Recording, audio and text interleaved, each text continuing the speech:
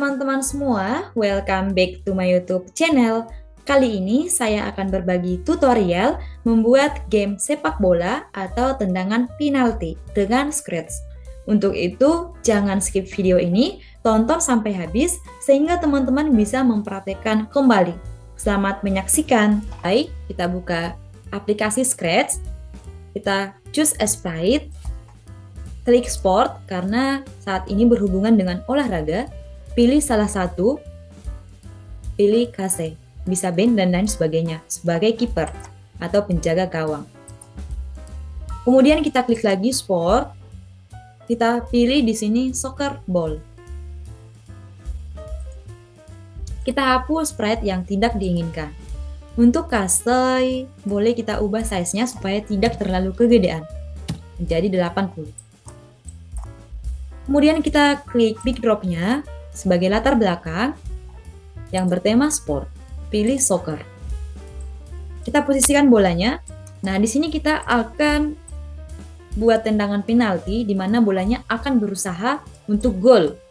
Nah, jadi kalau di sini ini masih hanya background semua supaya uh, kelihatan atau ketahuan bola harus ke mana nih supaya dia gol gitu. Nah, jadi nanti kita akan buat di sini backgroundnya gitu, dengan mengubah warna. Sedangkan untuk si uh, kipernya akan menjaga di gawang. Dia nanti akan berlari ke kanan dan ke kiri supaya bola tidak masuk ke dalam. Nah, jadi kita langsung klik aja big dropnya, klik big drop. Nah, di sini boleh kita buat uh, warna, ya, kita boleh ubah warna supaya nanti gampang untuk dibaca skripnya. Kita klik rectangle.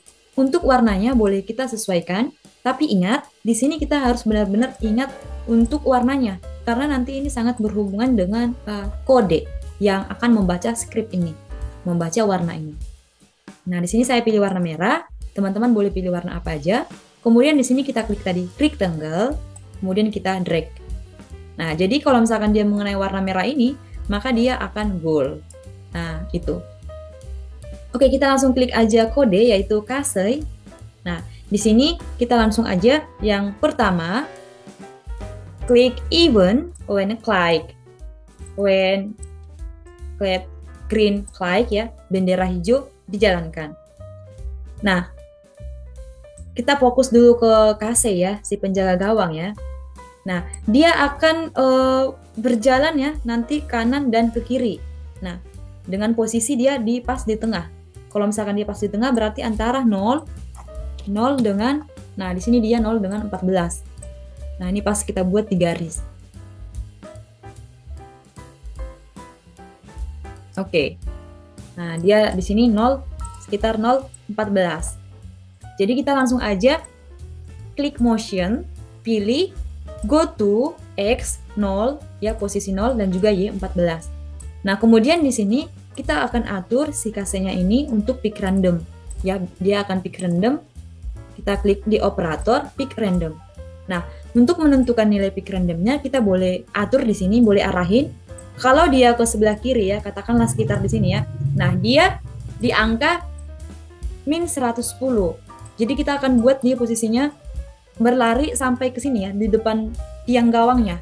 Karena kalau misalkan dia nanti bolanya melempar dari sini kan bisa aja gol gitu. Nah, juga sampai di sini.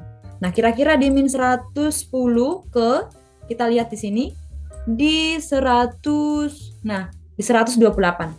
Nah, jadi dia posisinya tadi di sini ya. Di antara min 110 pick randomnya dia akan berlari dari min 110 ke 128 yaitu kanan kiri, negatif dan positif. Ianya tidak perlu diubah. Nah, kemudian kita klik forever yaitu di pengaturan waktu. Nah, kalau misalnya kita jalankan, nah dia akan uh, kelihatan ya gerakannya ya. Nah, tapi uh, kita akan buat uh, waktunya ya supaya tidak terlalu um, cepat banget dia larinya. Ini boleh kita atur wait 1,5 second. Nah, kira-kira nanti gerakannya seperti itu dalam menangkap bolanya. Next selanjutnya kita pilih when click ya. Pilih if ketika kita pilih di control if then ketika menyentuh kita ke sensing. Ketika menyentuh soccer ball, apa yang terjadi? Kita klik play sound. Nah, untuk play sound boleh disesuaikan di click sound dengan uh, cara yang sudah saya bagikan sebelumnya. Kemudian, kalau misalkan uh, dia mengenai uh, soccer ball, ya berarti dia bisa menangkap gitu ya, dia menangkap bolanya, maka dia akan berkata try again. Say hello, try again. Nah, ini boleh kita atur waktunya supaya kalimatnya tidak terlalu lama gitu ya. Kita boleh atur jadi satu. Nah, ini akan di, dikerjakan ya selamanya. Kita klik forever di sini. Oke, itu dia untuk KC ya simple ya. Sekarang untuk soccer ball. Untuk soccer ballnya ini pastinya nanti akan ada skornya. Oleh sebab itu kita klik variable, make a variable, klik score. Nah, ini boleh kita klik di sini skornya. Boleh kita buat di tengah. Nah, oke, okay. uh, eh, untuk bolanya ya, untuk bolanya boleh kita posisikan bahwa dia nanti akan dari pas dari tengah. Oke, okay, dia posisinya tetap di sini. Oke. Jadi untuk ini kita langsung aja even when create green klik go to kita ke motion go to x dengan uh, dengan x min 1 dan y-nya min 116. Nah, kemudian kita akan buat uh, gerakan secara berulang dengan cara repeat until dan karena kita akan mengarahkannya atau menekannya supaya si bola berusaha masuk gol gitu ya. Berarti kita pilih di sini uh, K space K space press. Nah, ketika uh, kita tekan, maka dia nanti akan uh, bergerak ya dengan jarak ya setiap jarak gerakannya 10 step. Dan ketika dia di pinggir, maka mantul. Ketika dia di pinggir, di sini ya, ketika dia di pinggir maka dia akan memantul. Nah, kira-kira di sini angkanya berapa? Ya, angkanya berapa? Kita lihat bahwa kalau dia dari sini ke atas berarti itu adalah Y ya, Y. Kalau kanan kiri X. Nah, sehingga di sini kita pilih hmm, Ceng Y, Ceng Y, by kita bisa lihat untuk Y-nya ada berapa. Kita lihat posisi si bola. Nah, dia di posisi 100 persis di sini dia akan memantul. Nah, jadi kalau misalkan dia di pinggir, maka dia akan memantul. Nah, dengan Y-nya tadi 100. Kemudian kita pilih lagi kontrol, wait one second. Nah, selanjutnya ketika nanti uh, dia sudah memantul, dia akan memulai hal yang sama yaitu ini dan pastinya juga kita harus buat go to dan karena dia akan berangkat dari awalnya lagi begitu. Nah, sehingga di sini sehingga di sini kita boleh duplikat aja, arahin di bawah. Nah, kalau kita lihat di gambar ya, dia sudah berhasil ya, kanan kiri. Nah, kita tinggal klik aja space pada keyboard nanti. Dan ini akan dilakukan selamanya, berarti pilih forever. Kita tempat, tempatkan di sini. Oke, okay, next, uh, when klik kita pilih di sini di event. Kita atur di sini uh, skornya pilih variabel set score. Kita atur di sini skornya. Nah, di mana skornya awalnya dari 0. Kemudian kita pilih di control ya pengaturan waktu if then. Nah, di sini baru masuk uh, color ketika dia menyentuh warna merah yaitu di sensing. Pilih touching color. Nah, di sini masih warna biru, kita sesuaikan persis dengan yang di background tadi. Nah, Oke, kita lihat tadi 100 100 apa 0 100 100? Oh, 0 100 100 gitu. Dia akan kebaca ke sini skripnya.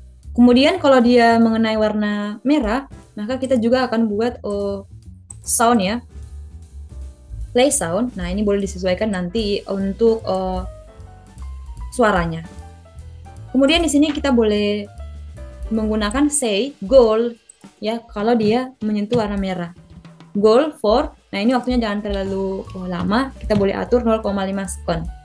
Nah, ketika dia sampai ke merah atau gold, maka skornya akan berubah. Jadi kita pilih variabel, pilih score, pilih sorry, pilih di sini ceng, ceng score, ceng score. Dan ini akan dilakukan selamanya. Kita pilih forever. Kita masukin di sini. Nah, kita boleh coba langsung ya. Nah, kita nah Nah, di sini dia kita oke, okay, dia udah berhasil gol. Dia udah berhasil gol. Nah, ini dia. Oke, dia sudah gol.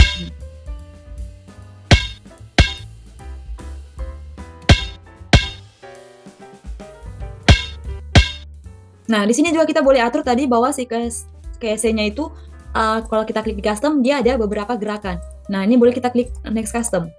Nah, boleh kita klik di sini next custom seakan-akan menangkap bola gitu. Pilih next custom.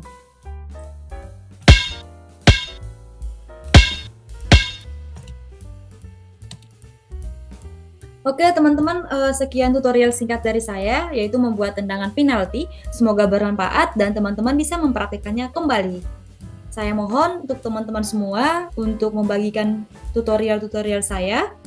Dan juga jangan lupa untuk like, komen, dan subscribe.